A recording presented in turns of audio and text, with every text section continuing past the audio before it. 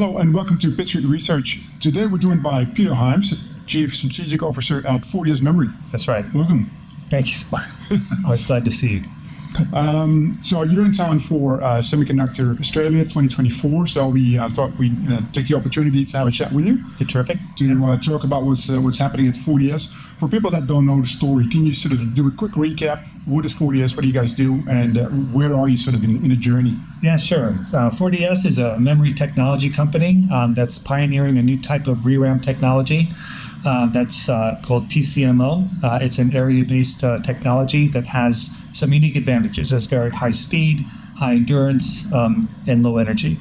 And uh, we've been developing this technology for quite a while. Uh, we've hit some good milestones. I think last year, about this time, is when we announced uh, the results of the last uh, uh, processing lot that came out.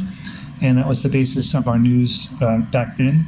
Uh, we're here for Semiconductor Australia. We actually have some new lots that are coming out that are just beginning testing. So- Can you talk a little bit about the development strategy and specifically about the fifth and the sixth platform lot, what that means, and Yeah. for, for people that sort of are not sort of familiar with the intricacies of, of development? For sure. So the fifth and the sixth lots uh, that are going through fab, and the fifth lot is out right now, um, have uh, a number of different objectives. Um, the, the baseline um, objective for the lot is just to show that the technology is repeatable.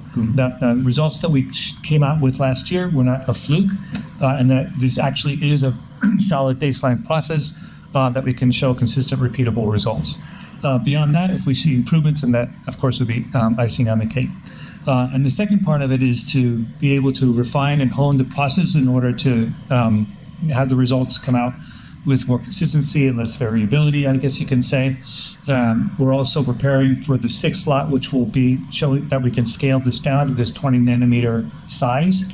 Um, and there's some, you know, there's some variations, experiments in this slot that uh, help us uh, inform those uh, that future decisions. Right. Yeah, I had a question about that. Um, So you were uh, manufacturing the 15 while you were still sort of developing the sixth. Is that right? Yeah, so a lot of the tech, the underlying technology is the same um, in terms of how you go about and doing the processing. So we can, you know, move some of those things along in parallel. But um, you know, one of the things that uh, is true with any kind of process development, especially in semiconductors, is that you need to, um, you know, you need to stage your bets, if you will, right? Um, so you want to hold things up, um, let the first lot come through, take a look at it, and that's your opportunity to make any fixes if they're needed. Yeah. Uh, that's just always a smart way of doing it. Yeah. Whether you're 4DS or you're TSMC, they all do it the same way. Yeah. So that's kind of where we're at. The Okay. fifth lot is in fab, but it's you know kind of waiting for um, us to take a look at.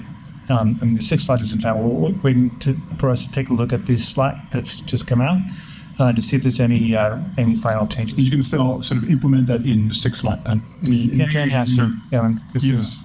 And some of the processing's already been done, like I said, but this is really about uh, refining that based on you whatever lines we can get. Yeah, okay. And so you're expecting results from the fifth lot back pretty soon. What are you expecting Yeah. to see there? Like I said, consistency. What are you hoping not to see? you know, proofs of, um, you know, th- this stuff is already in testing, and we can see that it's um, under test and it's, you know, not completely dead. So, so it's a good first step. Yeah. Um, so, no, the first uh, thing we're looking for is consistency. Uh, consistency in results and consistency in performance. Right. Um, and then there's variations, like I said, which will inform us for, for moving forward, see if we can get any kind of improvements based on what we can see. Yeah, and when you talk about consistency, how does that reflect in the test results? So, what different metrics will you be looking at? We always look at three basic things. Uh, look at um, switching speed, um, the endurance. In other words, how many times you can switch the cell on and off, uh, and then the persistence. What's the retention of that cell? Right. Four different programming conditions. One of the unique things about our technology is that that retention um, can be can be tuned, can, can be varied, you know, de- based on how hard that you program the cell. Uh, so that relationship is something else we look at. Right. And is there any, any in those metrics, is there any sort of baseline that you, the, the minimum requirement that you want, that you're really looking for? Uh, like, for instance, with retention, could be 10 years or could be 50 years, depending on, Yeah. on how you tweak it. Um, and I guess the same with endurance. Um, but what, what's, what's sort of the baseline for you guys to, uh, to get to in, in these, well, with the fifth and the sixth one? So um, switching speeds is at least as fast as DRAM. Yep. Um, you know, persistence from hours to, to days, to months. So one hour is kind of our, our, our baseline um, uh, metric that we use to characterize the cells. Um, and then, um, uh, just, and then endurance is the third thing. Right. Yeah. Okay. And so the uh, the six lot, the development of that should be done sort of in, in December. Uh, towards the end of the year. Yeah. Might spill out to the beginning of the new year, depending on, you know, but we're also uh, dependent on IMEC processing and, you know, over the holidays, sometimes you, things go slower than you expect. Yeah. Especially in, in Belgium, I guess. I guess. Um, so, but once that's done, how long do you see? What, what sort of timeline do you have for manufacturing and then for testing, potentially qualification? So, what, what, what are you looking at once it's going is going into IMEC's lab? um, once we get the stuff out of the fab in the beginning of next year, it's about a two month cycle in order Okay, so, so it's coming out of the fab early next year. Yeah. Right. Yep. Um, and then, um, yeah, so it'd be maybe end of the first quarter when we actually can tell how that lot has performed. You know, beyond that, then, um, you know, the next steps for the company, you know, this is a technology development. So uh, this is just the, the memory technology by itself. Um, so after that, you have to actually put that into a, a macro, design a, a cell in order to optimally drive it.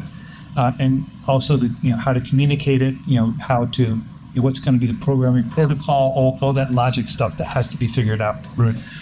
Um, and that will be done, you know, our, our goal is to do that with a partner um, that um, will work with us in terms of, you know, tuning that memory technology for a specific application. That could be a two-year process, you know, frankly speaking. You know, from the start of those discussions through the circuit design, through the uh, optimization of the cell, uh, to get something that can actually you know, test either in a circuit or as a standalone memory chiplet or whatever. Correct. Yeah. So that brings me to the next question um, about sort of the, the roadmap for development in 2025 and maybe even 2026. So you, you sort of alluded to it already, but what what's sort of the at a high level sort of the roadmap for 4DS in the next two years? Right now, we don't anticipate doing more of these platform lots. Um, that could change. Um, you know, in terms of what we're doing with uh, with the existing IMEC um, uh, development tools, development platform that we have. Yeah. Um, you know, ideally, we would uh, be identifying that partner or uh, coming to terms with a partner in terms of bringing that to um, uh, you know, product stage, if you will. So from the technology stage to the product stage. Uh, and that involves this uh, circuit design for the macro and involves the logic, you know, in order to interface and to drive that memory cell, and then actually putting it into either a test memory array or an actual chip. Right. Uh, So that, um, you know, for 2025, 2026, that's what we would like to see happen. Right. Okay. And that would be a joint, right? So that would be, that would be moving from our own internal development in terms of the base technology to hopefully something we're working in partnership with somebody, you know, in terms of taking that to the next um, product stage. Right. That would be a significant um, step up for 4DS, you could say. Yeah. But that wouldn't be would that be with IMEC potentially or with more We would still use IMEC on the back end. So, you know, so IMEC is, e- even with IMEC, it's a, it's a CMOS wafer in the front, and then, you know, IMEC does the um, back end Yep. processing. We put our memory cell between two metal layers, um, of course, with our technology and our top and bottom electrode, all that other stuff. Uh, so that would be the same process uh, with any any other advanced CMOS fab. This is why we say that we're very confident that our our technology can be transferred to any existing fab because um, of the way it's been designed and how we're currently working. We're actually already kind of doing that. Yeah. Okay. So, so last question in terms of um, commercialization slash sort of you know the, the strategic sort of end game for for 4DS. Talk a little bit about that. How do you see that play out um, in terms of commercialization, or you know, going a strategic way? Uh, maybe at, for, at a high level, what what, what the plans are there? You know, I think as a company of our size and what we're doing, um, we always plan for um, you know for continued uh, you know continued development of our technology. So um, we you know we plan to be working on developing this. Uh, like as I said, this macro cell, and working on coming up with a test chip or an actual in-chip implementation of the technology. Uh, and then if somebody comes along and says, you know, we'll just acquire 4DS and we'll take it internally so that we can accelerate this and actually own the whole technology, then um, then that would be great. But you know, you don't, um, you you don't plan around selling the company, you plan around success, and then other things can happen. Right, Uh, okay. At least that's my philosophy towards it. Yeah, you plan basically for commercialization, and then if anything comes along, then yeah, you Yeah. look at that. Sure. All right, excellent. Well, thank you, Peter. Thank you very much for your time. Uh, All right. It was a pleasure to have you. Yeah, always a pleasure to come out to, to Sydney. And Perfect. looking forward to this conference tomorrow for Semiconductor Australia. We think that uh, uh, it's uh, it's it's overdue to be able to establish this kind of um, I'd say critical mass of semiconductor companies in the, in the market here. Yeah, excellent. Thank you very much. All right, thank you.